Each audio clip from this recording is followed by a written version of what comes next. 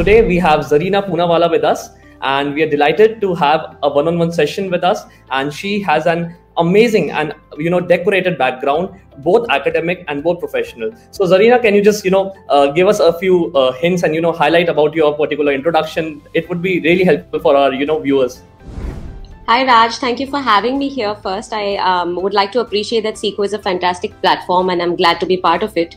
Uh, what I do is I'm a leadership coach, I'm a life coach, I'm an emotional intelligence practitioner, I'm a neuro-linguistic practitioner and a cognitive behavioral therapist, amongst other things. But I'm also a podcaster and I host the Empowering series. Now, um, I've been in the industry of basically coaching and learning and development. I've been in this industry for over 14 years now. And I've studied in Australia, so I learned a couple of uh, tips and tricks and techniques from there. And then I also got trained by Steve Jobs' coach in leadership training. His name is John Mattone. So I've managed to get a holistic understanding of how people work. And when people seek help, you should be ready to help them. So basically, that's what I do. I help people help themselves, in short, in a nutshell. So I see you have a very very diverse background. You have been through like you you've been across the world and you have worked in several positions. That's like commendable, literally. So moving ahead with our session. So uh, to you know lighten the mood and make it crisp and entertaining from the very beginning, let's have a you know quick rapid fire round. So under this, uh, I'll be asking you four or five questions, and you are supposed okay. to answer them within two to five seconds, and you know just try to summarize them in one or two uh, two words, right? So let's begin. Are you ready? Fingers crossed. No, I'm not ready, but I'll try and be. I'm going to try. Okay, go on. Fine. Okay. So uh, here comes the question number one for you is that practicing horticulture makes you makes me peaceful. Peaceful. Perfect. One book that changed your life. One book that changed my life. Um, oh my God, there are so many. Uh, Reject Me, I Love It by John Fuhrman. Beautiful. A book everyone should be aware of. Uh, the Power of Now by Eckhart Tolle. Interesting. Okay. Uh, coming to the fourth question, a place that everyone should visit for sure. There are so many. I actually feel it's Kashmir a lot of people don't land up going there and there are lots of reasons why but kashmir is truly truly heaven on earth and one should visit the place to feel the beauty. I totally agree with you. I totally agree with you on that. And coming to the last question of the rapid fire round is that one lesson you learn from life and tell every other person about it. Um, if you want to be happy you mind your own business and let others mind theirs. I guess that's the lesson i've learned from life that's that's so precise and crisp. Like that's amazing. amazing. Yeah, rapid fire. I hope I did a good job. Uh, you did a very well job. Like uh, I'm impressed with all five questions. I'm I'm surely gonna look into those books that you mentioned. Yes, yes. Uh, so, is there a hamper or something? Do I win anything, or is just done now? Uh, so we wish we we were having this podcast in the studio and we could have given you with a lot of things, but unfortunately. So that's totally due from our side. so uh, now let's come to the uh, you know questioning sessions. So we have mm-hmm. a bunch of you know interesting questions stored for you, which will be very interesting for our audience to know even. So mm-hmm. starting first question, Zarina. So how does a positive attitude result in a positive impact in life according to you? Um, firstly, let me tell you something about the mind, Raj. Uh, on a daily basis, we're capable of having 12,000 to 60, 60, 60,000 thoughts a day. All right. The mind has those many thoughts a day. And the funny part, Raj, is that 85% of those thoughts are negative and 90%, 90, 95% are repetitive. So now, do you understand that the mind is so full of negativity? So it's not about what positive thoughts we should have and what they do. It's about how to replace your negative thoughts because you're constantly thinking. You see, the mind is constantly thinking.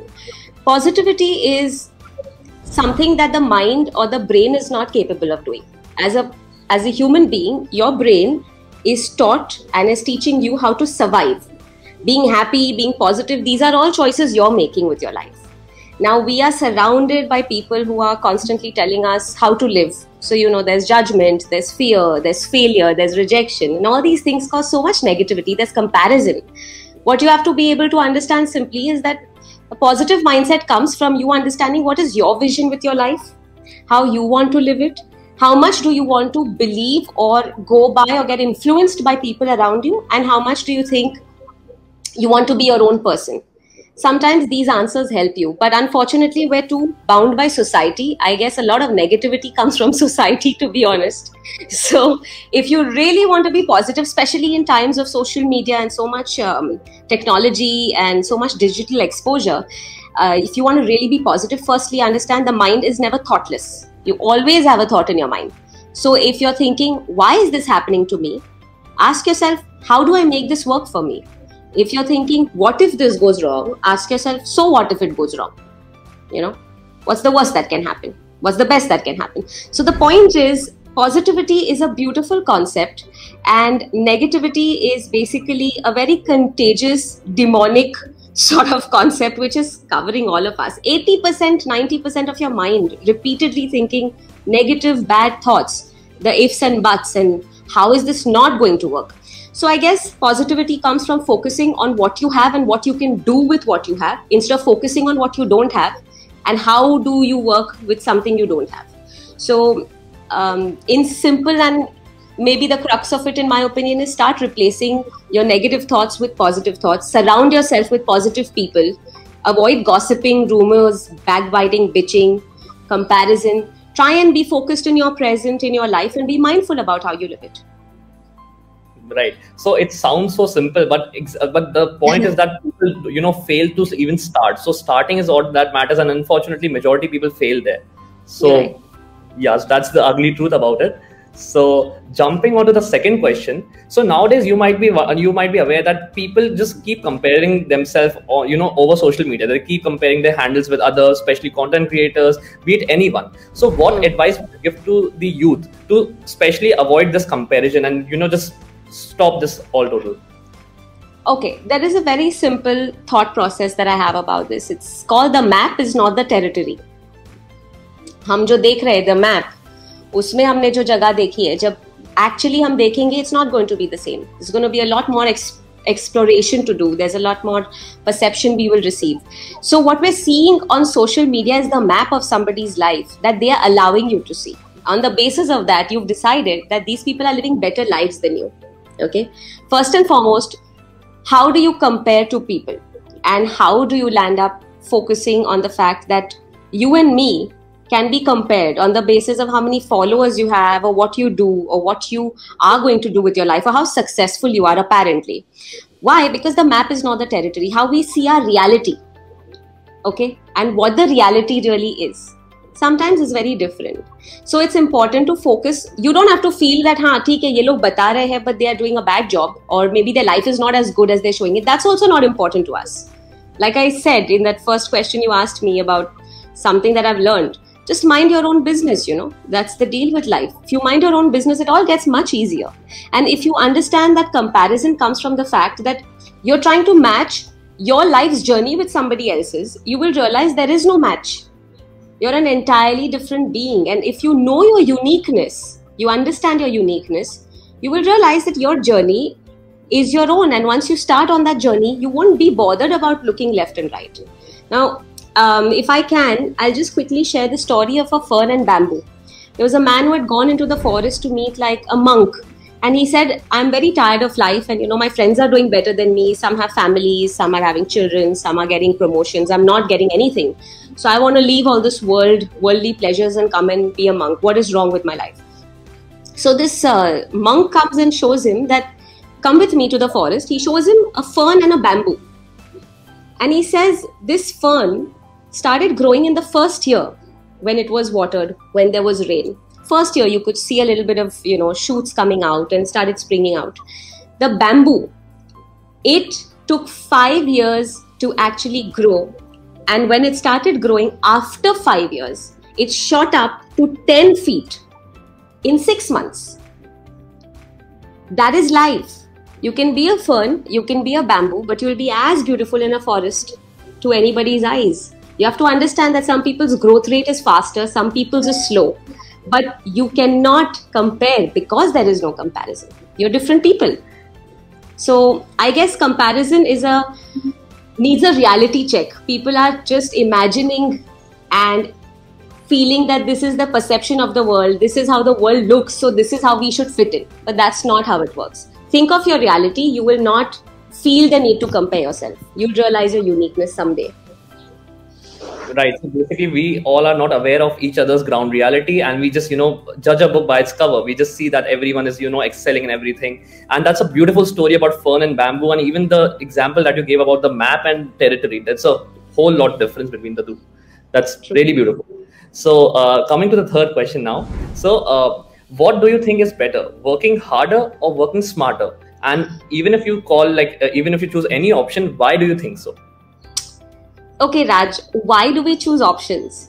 Why can't we do both? You know, when I was younger, why why should I be working harder and slogging myself off for many many hours as compared to working smarter? How about it's situational? How about the fact that I can choose to do both depending on what is required of me? So, um, if I have to give you a little example, if I go back into my history or my backstory, I worked really hard at a certain age. Everybody does. When they start off, everybody works hard.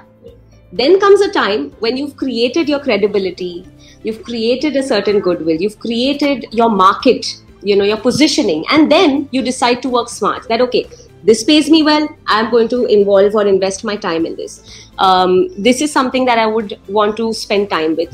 These are the kind of things that I want to do. This is what I don't want to do I think hard work and smart work is not a versus, it goes together. There is an age and a stage in your life where you have to slog, and it's important. You need to understand the importance of working hard. It's not um, it's not something that people just say because it's uh, you know it's universal. It's because people have experienced it. Hard work does get you places. But in today's day and age because we have technology because we have uh, so many resources at our disposal you have the ability to work smart also. So in my opinion i don't want to make a choice there. I think it's a combination. And i also think that it's a matter of how you want to use that combination to work for you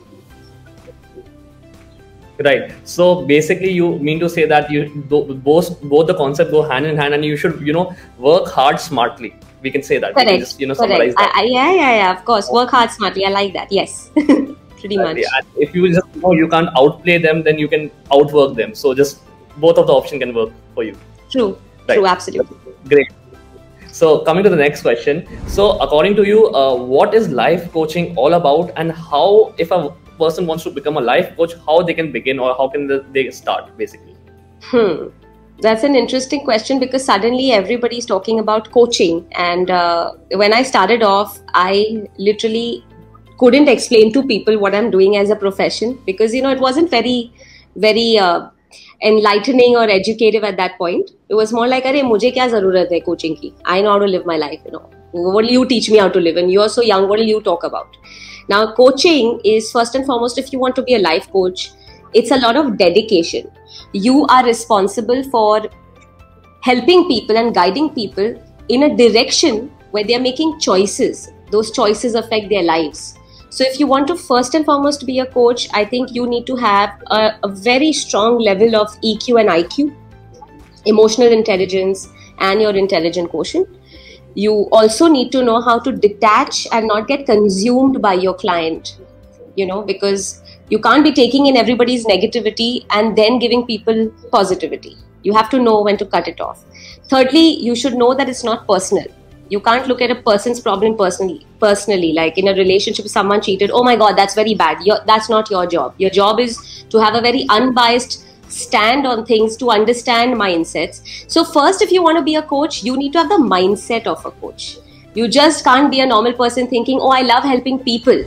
That's a myth. Everybody loves helping people, but that's not how you help people. And you might change the direction or the course of their lives. So, you've got to be very clear about what kind of help you want to give to people and how capable you are mentally and emotionally to give that help that's the first thing. Secondly there are plenty of courses. I believe now on udemy everybody is going and doing some kind of a course or the other and you know people are going through icf training. So you've got the um, icf which allows you the international coaching federation allows you to get certified. There are plenty of ways to become a life coach but i think the most important thing is to have the mindset of a coach. When you know that you're responsible for people's lives you will understand that it's not just about negative, positive, um, right and wrong. You have to understand it's way beyond that. So, anybody who's out there to do coaching, first coach yourself. That's important. Then go out and coach the world. So I believe here the uh, famous quote from Spider-Man works the perfect that with great powers come great responsibility. Oh, absolutely, absolutely. Thanks. It sounds like very coaches are superheroes. You just made me feel a little good about my profession. World needs more people I guess so. Thank you. So, as you mentioned about uh, EQ in this particular answer of yours, so my next question is related to that only. That what is the importance of emotional intelligence in our career or in our life? Okay, so if I have to ask you, Raj, on a scale of one to ten, how emotional are you? Eight. Nice. On a scale of one to ten, how intelligent are you, or do you think you are? Six. Six point five. I think you're being a little modest, but okay, that's up to you. Um, on a scale of 1 to 10, how emotionally intelligent are you? 4. That's the deal. First, we're already sure that we're not going to be emotionally intelligent. Second, we don't know only what emotionally intelligent people mean. So let me just explain to you. The idea of emotional intelligence is not a combination of emotions and intelligence the idea of emotional intelligence is that you have an a plethora of emotions in you. Anger fear happiness sadness etc etc all the things that we feel. You don't have to dismiss any of your feelings. You know how we're taught when we're younger Are don't cry or boys don't cry or uh, you know you're a girl you have to be stronger. You have to fight the world. Or this is not how you're supposed to be taught. I wish we had emotional intelligence in parenting so that people could actually deal better with raising their children when it comes to telling them how to handle their emotions. Stop getting angry. You know stop crying. That is not emotional intelligence. That is you telling somebody to suppress what they feel. Emotional intelligence is knowing that yes i'm feeling angry but now what am i going to do with my anger Am I going to lash out at somebody?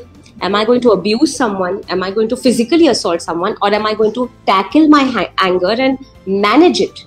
And then be able to come up with a response. Emotional intelligence is yes, I felt a heartbreak, but now will that heartbreak spiral me down into a depression? Or am I going to just cut off from the world? Or am I going to use that heartbreak, move on, do other stuff with my life?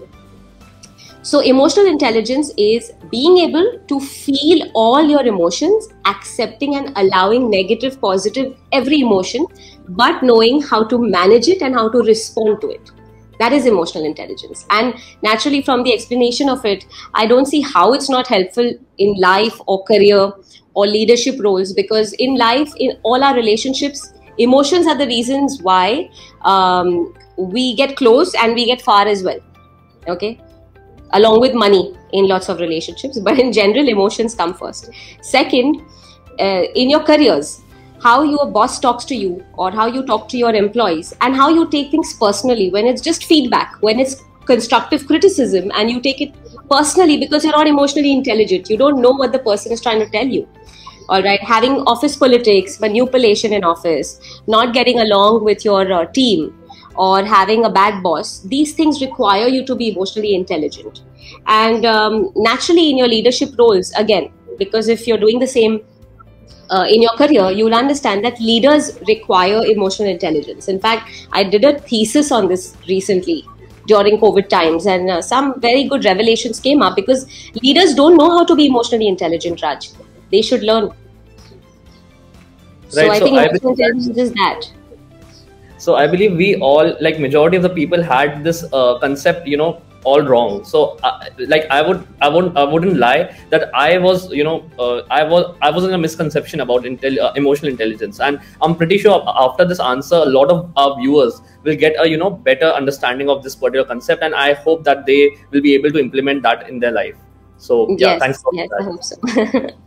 So this brings us to our next question. So i was one of a person who was you know very uh, who, who used to get very anxious and you, you used to start shivering when somebody asked me to you know uh, speak in front of people or you know stand at a podium and speak. So what according mm. to you like how can a person you know avoid or you know overcome the stage fright? Okay. If i may ask you this are you an apparently are you an introvert or an extrovert by nature? I'm an extrovert now. You're an extrovert now. Okay. Yeah. Um, the thing is again i'm going to talk about stereotypes here which lead to stage fright. Now in the world let me tell you that stage fright is in the first two highest fears or phobias in the world. Meaning if somebody is dying i'd rather be in the coffin next to him than give a eulogy for him because that i'm more scared of than dying you know? So stage fright is a universal fear and it's a phobia in its its own self why i'm asking you about introvert and extrovert is because we have stereotypes which we have built over a period of time that an introvert person is not good on stage. They fear they're they're shy or they're not people's persons so they can't really communicate. Extroverts can. This is all nonsense. These are all stupid stupid logics and i don't know where they came from but people believe them. Introverts can be great orators. Extroverts are great they're talkers. They may not be speakers. They may be talkers. You can go yapping about stuff. You can keep people entertained but you're not necessarily a speaker.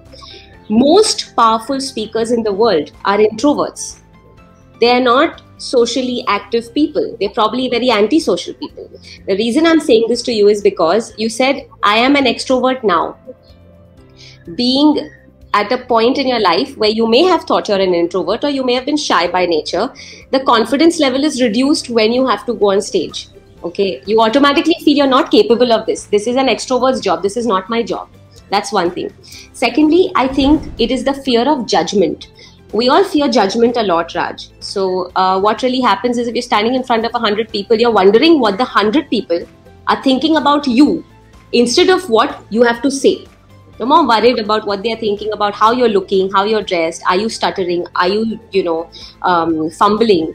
What are they thinking about you? Because we're worried about judgment. So i would uh, give the example an analogy of an indian wedding where you know indian weddings the big fat wedding you go to you you're standing and you're already talking about a look at jamega and the mother-in-law looks very this and um, they should have worn better clothes. They have a lot of money. They should have got more diamonds, something or the other. But there is all judgment. You're not, you don't know them, or you're there for their happiness, but you're making judgments. Now, what you're doing is holding a plate which they've paid for and they've called you in their happiness, and you're judging people. So when in your family there's a wedding and your kid is getting married, you are worried about that judgment, and so you are trying to impress people instead of actually enjoying yourself. When you're on stage, it's the same thing. If you want to fight stage fear, first and foremost, accept that you should not judge anybody. When you stop judging, you will stop fearing judgment.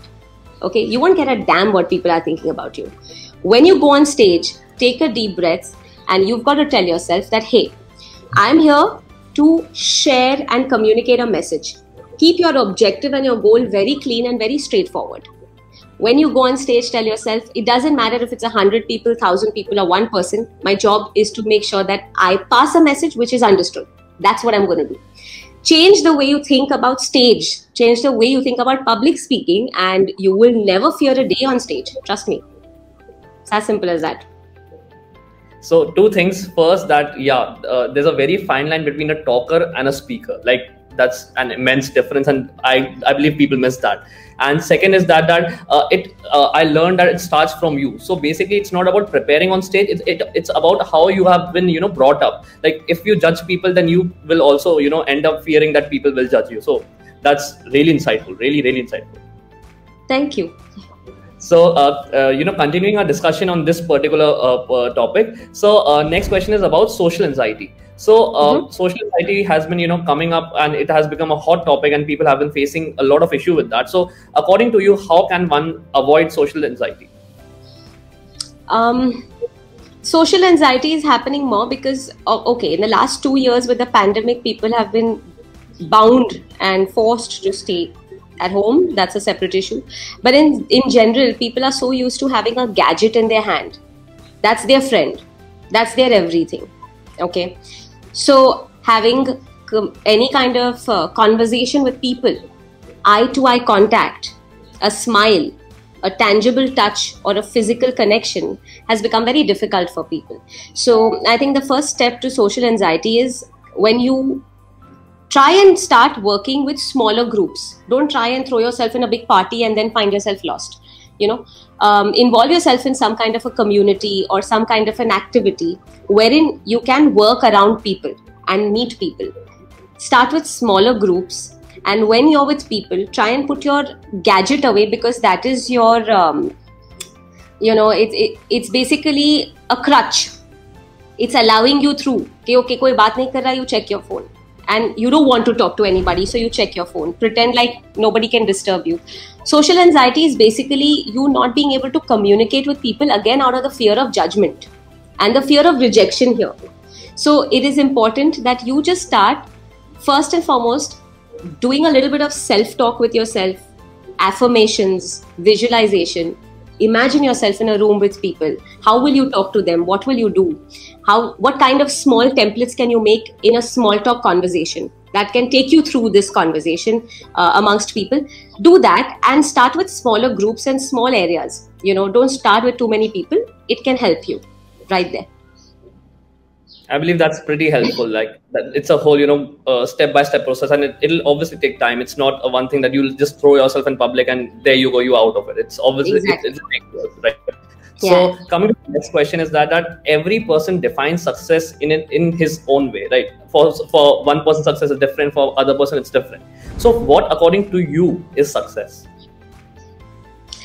According to me, success is the height and the level at which you can accept your failures Success by itself is nothing. Success comes from failures. If you're willing to fail, you will be successful. If you're boiling an egg and you couldn't boil it fine the first time, you failed. But the second time you boiled it right, you're successful. If you're a homemaker and you're running a house with happy people in it, so, you know, uh, making sure that everybody's got food, everybody's looked after, and you're feeling happy about it, then you're successful you know if you're providing for your family or you're helping somebody on the street and you wanted to do it you're successful. My my opinion is success is not supposed to be measured materialistically. It's not supposed to be measured with fame and glory. It's supposed to be measured with how many times you failed and how many times you've overcome your failures. That's my understanding of success. So it could be the you know simplest thing in the world and it could you know be a success for someone absolutely. I mean look at us. When we when we were in school and you know when we just landed up doing an art competition and came first what what what must have we done in that art competition? Drawn an elephant or a sun? Right. Today we look at it and we like who the hell gave you a prize for this? You know what was that? But that was our achievement. And that achievement made us feel one step good about ourselves. That achievement um, is something that we were so glorified about. And it was nothing for somebody else it's nothing. So in my opinion first and foremost we should not um, kind of put success in terms of the glory or the fame. See like albert einstein or uh, thomas edison or j.k rowling all these people when we talk about their stories we talk about their stories because today they have fame. That is why their stories are talked about. If there are people around us, we'll find so much inspiration around us, Raj, on a daily basis, from your house help to your security right. to uh, a driver to you know your uh, friend. You'll find so much inspiration, and you'll realize how people overcome difficulties and failures, and they are successful. Success is a combination of happiness and your the way you handle failures. In my opinion, that's what it is totally that's fair enough like we can find inspiration all around uh, you know people spend the entire life uh, you know getting what things we which we already you know begin with so no doubt mm-hmm. Exactly. So coming to the uh, next question is uh, here is that that i've been reading a lot about hustling culture on linkedin on twitter on instagram. So i don't have much knowledge about it and uh, neither did i understand it much. So can you just brief me about hustling culture? Um, apparently hustling hus, hustling is a word we all have heard. If we've heard some kind of english pop music or r&b you know we've heard of the word hustling. And that hustler that we want to be is created from the fact that we constantly want to keep ourselves busy with something or the other. And in the process of keeping ourselves busy raj what we do is we um, want to show that we're so busy that we're sacrificing other things. And that's how we are creating success for ourselves you know we're showing that oh we're sacrificing this. I have no time for this. I'm trying to do this. So you're basically brushing your teeth checking your phone making your cup of coffee in the morning together all these things together. Then you're on your laptop you're on insta whatsapp on a zoom call you know probably talking to your girlfriend or boyfriend or whoever. You're doing all this together. You enjoy it because you feel like the more busy i am the more productive i am. But hustling culture is not good. It's not good at all simply because there's a difference between hustling and multitasking people have kind of confused these concepts multitasking is fantastic and it is nice if you know how to compartmentalize and multitask hustling culture is basically a mindset again your map and territory you know your reality and your perception के मतलब मैं ये चीजें कर रहा हूँ पूरा दिन मेरा ऐसा जा रहा है सो I am very busy I am hustling that's not busy people are not the same as business people. Busy people are not the same as productive people and busy people are not the same as efficient people. This is where your smart work and hard work count. Where is it that you can work smart? Where is it that you can work hard? How can you compartmentalize your time? So hustling culture is basically being busy all the time, but I'm not sure if it is being productive most of the time. It's just like trying to get a lot of things done. Um, if you have time, I just want to quickly share something if that may help people who are trying to use this hustling culture. It's a matter of focus. People think they can focus on a lot of things together, but have you heard of uh, Jack Ma? Yeah, obviously. Yeah. So Jack Ma was asked once that if you you were chasing your dream, you know, how did you manage to achieve such a massive, massive dream and so much success. And he asked that interviewer back, he said, if you had nine rabbits running around you, which one would you pick? And I asked you to pick one rabbit. Which one would you pick and bring me? So the interviewer said, um, probably the one which is the fattest because it will run slower, or the one with, you know, who's uh, next to me, or the one that I can see from a quicker distance, the one who runs slowly, or I'll dangle a carrot. He said, no, None of that. What I did is, in the nine rabbits, I put my focus on only one. And I ran after only one. Because in the concept of trying to grab all those rabbits, which one, which one, which one, I have nothing in my hand. So the focus, if you're hustling, have a focus on what you're hustling about. Otherwise, it's pointless. You're just unproductive so what i believe is that hustling has been you know it has it is it is being used in a wrong way. Like people are being proud that we are hustling but probably it can be a neg- it, it can have a negative side as well. And uh, and it's all about quality over quantity i believe to summarize it. Oh yes absolutely. That's quite uh, you nailed it i'd say. So that's my life motto. That's my life mantra you know.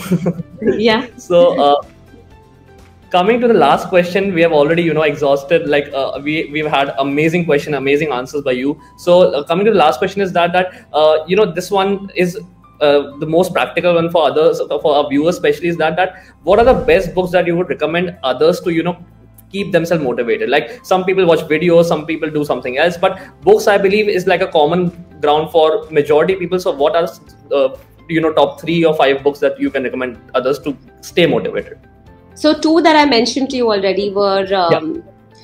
This one is one of my favorites, and it's a very easy read. So if you're not a reader by nature, and you know you see thick books and you get scared, go for this one because it's called "Reject Me, I Love It" by John Fuhrman, and it talks about how rejection can shape you and very beautifully shape you. So it's a fantastic, easy read. Um, the power of now, like I mentioned by Eckhart Tolle again, it's a little bit to do with the universe, little spiritual, but at the same time very practical. And he's a fantastic writer and a fantastic speaker as well, Eckhart Tolle. Uh, there's a book called The Last Lecture by a professor, Randy Pausch. And he was a professor in a university in America and he was suffering from cancer. And that's when he has written this book. It's a fantastic book, life lessons there. Um, another one is Screw It, Let's Do It by Richard Branson. Amazing for people who are trying to be, you know, a hustling in the corporate world or trying to be passionate about something or chasing their dreams. So Richard Branson again has written this Screw It, Let's Do It very nicely because firstly the title is very quirky and the book is as it's very easy read. Was some part of his life is mentioned in that book. Um, another one I guess those are good enough, but I'll give you one more. Um, Who Will Die? Who Will Cry When You Die? By Robin, Robin Sharma. yeah. Again, it's just, it, it, just the the title itself is enough to bring you back to reality. That okay, chalo, we are not indispensable, we're not um, immortal, so let's just focus on how we're going about life here. I guess just that, yes. So unfortunately, I haven't read any of the books that you've mentioned. I have now five books to look forward to, and especially the one which you called your favorite, uh, the Reject Me. I love it. Yes, and yes, uh, absolutely. for me, for me, my favorite book has been like which motivated me was like uh, Think and Grow Rich by Napoleon Hill. Yes, So yes. that really helped me a lot. So uh, anyway, we have like ex- exhausted all our questions, and this has been amazing. This has been great, and you know, uh, I am proud to say that I thoroughly enjoyed it, and I you know feel motivated. I just feel different. I, I just feel excited. I feel energetic. I don't know why. If it's probably you, you are you know giving out certain vibes or something. I certainly hope that our viewers also feel the same. That's totally working out for me. So thank you so much, Zarina, for you know giving us your valuable time and you know just uh, sparing uh, su- such a long period for us and uh, you know sharing your insights and your experience and your knowledge with us. This has been great. Thank you so much. Thank you so much, Zarina.